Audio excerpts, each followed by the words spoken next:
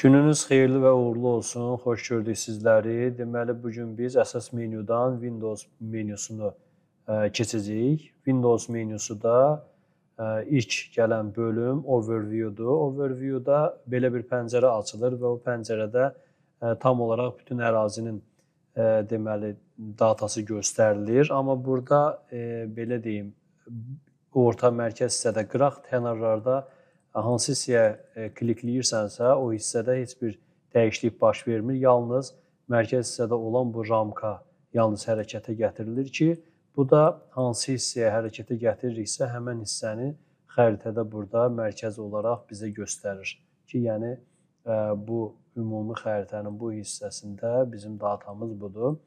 Bu formada yalnız datamız bu hissədə olduğuna görə mən çox da qıraq hissələrə hərəkət elətdirmirəm. Zaten hərəkət elətdirsək də ağ ekran görsənəcək. Ona görə bu, bu pəncərəni bağlayıram və keçirəm növbəti magnifier e, bölümünə.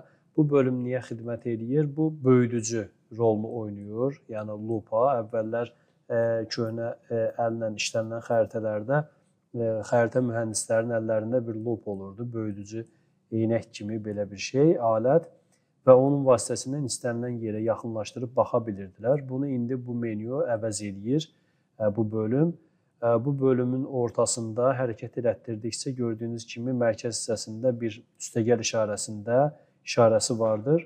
Bu işarəni hansı hissəyə, xəritənin hansı hissəsinə yaxınlaşdırırıqsa, o hissəni böyüdür və bizə göstərə bilir.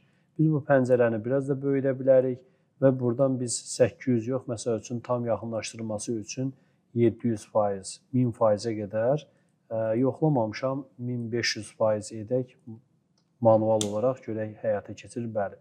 E, istənilən e, deməli faiz dərəcəsini biz ora yazmaqla e, biz o xəritəni o qədər böyüdə bilərik. Xəritədə hansısa bir hissəni və ya obyekti böyüdə bilərik. E, və e, ortada bu digər funksionallıqlar zaten sizə bəllidir. Böyütmə, kiçiltmə, əl işarəsi və s. Onun üzərində dayanmıram. Keçirəm növbəti bölümə, Viewer bölümünə. Viewer bölümü də e, böyütmür, ancaq əlavə bir pəncərə kimi bizə çoxlu pəncərələr aça bilir. Bu pəncərə vasitəsilə biz ekrandakı xəritəmizi bir neçə hissədə sağ tərəfdə göstərə bilərik. İkinci bir pəncərəni də aça bilərik və bu formada bir neçə pəncərə açmaqla xəritələrimizin, xəritəmizin daha doğrusu müxtəlif hissələrini bu formada böyüdüb yaxınlaşdırıb yan tərəfdə baxa bilərik əlavə bir pəncərədə. Və sonra Table of Contents menyusu gəlir. Table of Contents zaten bu menyudur. Biz bunu səhv etmirəmsə keçmişik, keçməmişsə də keçəcəyik. Bu bölümü buradan bağlayıb, çaşıb bağlaya bilirlər. Yəni tələbələrdə bu hal çox baş verir. Yanlışlıqla bu pəncərəni bağlayırlar. O pəncərəni bağladıqdan sonra burada da həmən deməli düymə var belə deyək. Bu düyməni sıxdığımız zaman bu pəncərə açılır. Eyni zamanda da Windows menyusunda Table of Context bölümünü kliklədiyimizdə bu bölüm açılır burada sol tərəfdə. Və sonda e, sonda deyil, davam olaraq e, ark kataloqdur. Kataloq burada da var, ekranda bu hissədə də var. Klikləyib aça bilərik. E, proqram kimi əlavə olaraq da aça bilərik.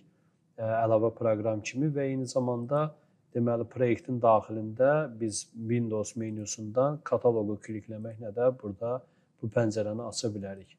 Sonra növbəti search axtarış bölümü gəlir. Bu bölümü səhv etmirəmsə burada demişdik hardasa.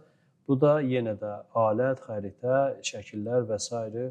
məlumatları axtarış etmək üçün bu pəncərədən istifadə etmək olar.